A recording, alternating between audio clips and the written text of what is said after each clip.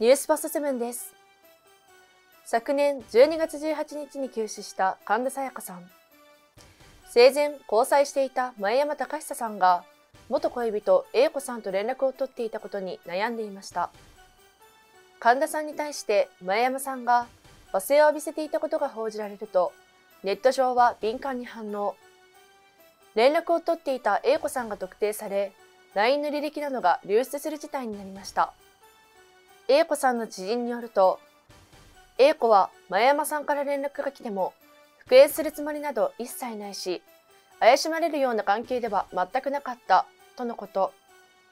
誹謗中傷を受けて、A 子さんは憔悴しきっているそうです。